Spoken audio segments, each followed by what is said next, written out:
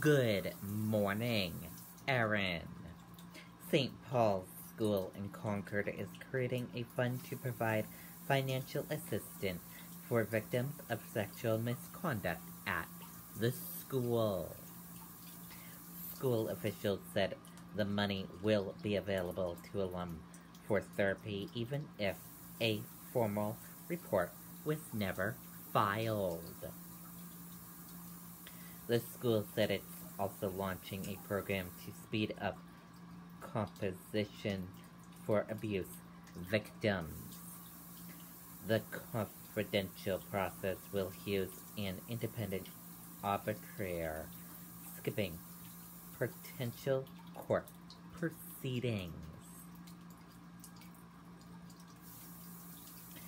School officials are investigating several allegations of sexual misconduct on campus, some dating back decades. Many came to light after a former student was convicted in 2015 of sexually assaulting a classmate. Hirschfeld was later named in a lawsuit that claimed the school did not do enough to protect students. He acknowledged that the arbitration program could help the school avoid future lawsuits.